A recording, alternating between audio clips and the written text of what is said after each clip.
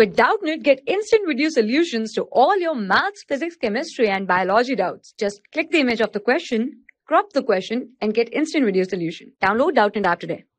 Hi everyone, let's take a question here. In the question, some properties of sulfuric acid are listed below here that is acid, dehydrating agent, non-volatile acid or oxidizing agent. We have to choose the property A, B, C or D which is responsible for the reaction given. That is NaCl plus H2SO4. It produces NaHSO4 plus HCl okay. So here we are given with the reaction that is NaCl plus H2SO4 NaH NaHSO4 plus HCl okay.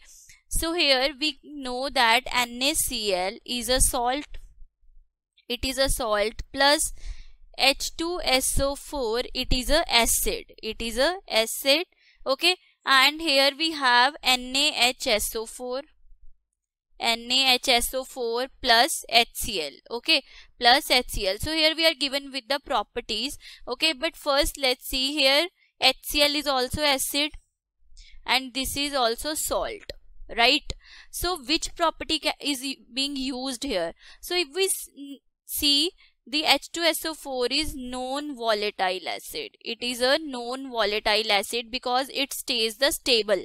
It says stable whereas HCl is a volatile acid. Why HCl is volatile? Because it can be easily separated easily separated by the evaporation or any other process okay?